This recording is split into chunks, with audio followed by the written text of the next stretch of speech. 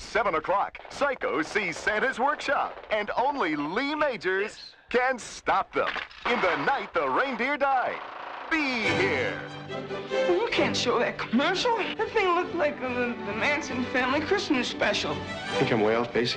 Yes, you're, well, you're a tad off base, sir. Frank Cross is more than the youngest network president in television history.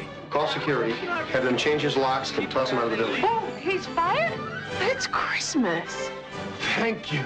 Call accounting. Stop his bonus. Oh, watch out. Ah! He's a thoughtful boss, Thanks, boys. Get the nurse. a generous brother, What did he give you last year? I don't remember. A shower curtain. Excuse me, ma'am. I think you dropped something here. and a true humanitarian. I can't get the antlers glued onto this little guy. We've tried crazy glue. Have you tried Staples? But his life is about to change.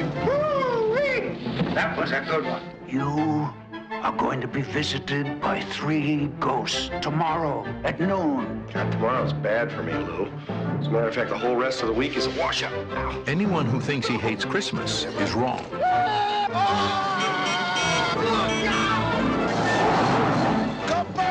Jersey, you moron! It's ghosts he hates. I love that bit! I'm the ghost of Christmas present. Bill Murray. Karen Allen. It sounded like you'd seen a ghost. A ghost? John Forsythe.